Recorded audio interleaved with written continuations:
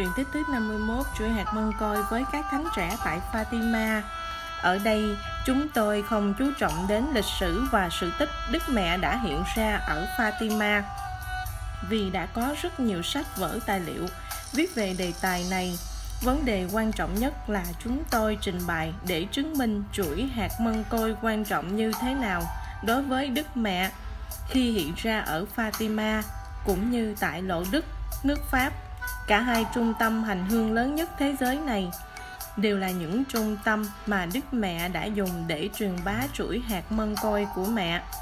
Ở Lộ Đức, chúng tôi đã trình bày ở trên truyện tích thứ 50 mỗi khi Đức Mẹ hiện ra với cô Bernadetta, Đức Mẹ đều lần hạt chung với cô. Tại sao thời gian hiện ra ngắn ngủi như vậy mà Đức Mẹ còn thì giờ lần hạt thì quả là Đức Mẹ đã hết sức quan trọng chuỗi hạt mân côi như thế nào. Còn ở Fatima, khi Đức Mẹ hiện ra với ba thánh trẻ, Đức Mẹ cũng đã chú trọng đặc biệt đến chuỗi hạt mân côi vì các em Lucia, Francisco và Jacinta tuổi còn rất nhỏ đã được cha mẹ giáo dục ngay từ khi chưa xưng tội rước lễ lần đầu hàng ngày năng đọc kinh cầu nguyện và lần chuỗi mân côi. Việc lần chuỗi mân côi đối với các em là một thói quen. Không lần hạt thì như thiếu thốn một cái gì đó. Cho nên, đôi khi mãi chơi, các em đã lần hạt ván tắt cho mau hết chuỗi hạt mân côi. Chính vì cử chỉ âu yếm đó mà đức mẹ đã bảo francisco, mẹ cũng sẽ đem con về trời.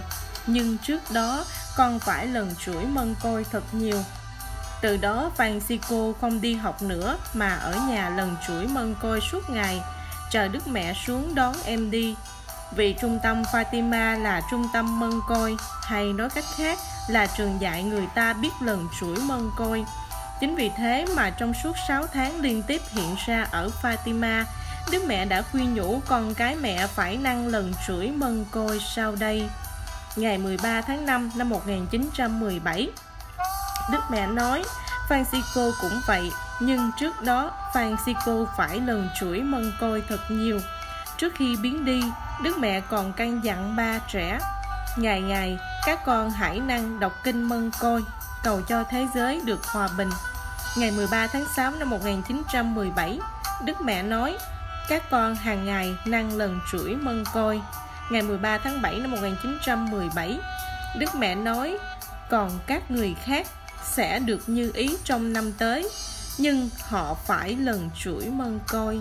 Mẹ không chữa kẻ què quặt, nhưng tốt nhất là hàng ngày ông cùng gia đình lần chuỗi mân côi.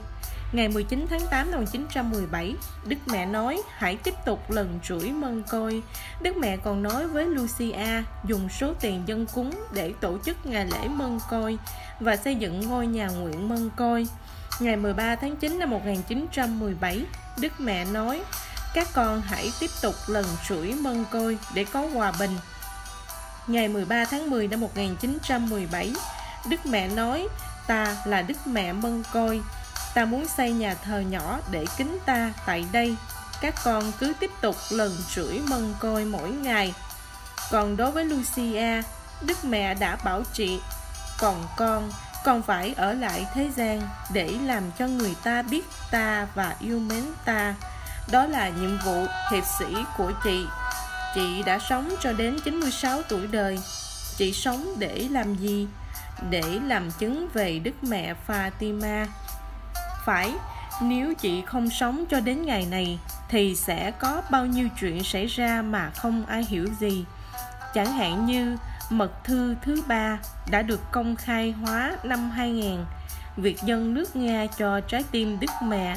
Kết quả là Liên Xô sụp đổ mà thế giới không tốn một viên đạn.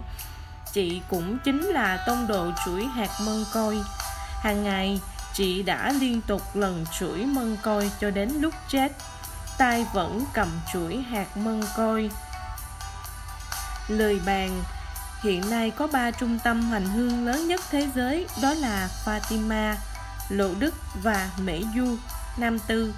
Tuy rằng cho đến nay hội thánh chưa công nhận Mễ Du là vì sự kiện Đức Mẹ vẫn còn tiếp tục hiện ra cho đến khi nào kết thúc việc hiện ra thì lúc ấy hội thánh mới có đủ yếu tố cứu xét nhưng hình như đã gián tiếp công nhận không cho phép công khai mà cũng không cấm tại mễ du đức mẹ còn khuyên bảo người ta năng lần chuỗi mân côi còn hơn cả hai nơi kia nữa Đức mẹ đã hiện ra cho đến nay là 25 năm mà nay vẫn còn tiếp tục hiện ra. Lần nào hiện ra, Đức mẹ cũng truyền cho con cái mẹ.